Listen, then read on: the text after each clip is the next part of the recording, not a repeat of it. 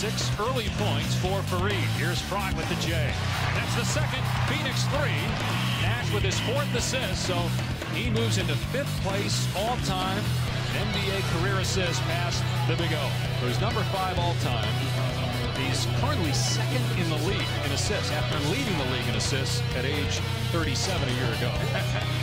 it's just a testament of who he is and the basketball IQ he has for him to be able to still go out and participate like he does.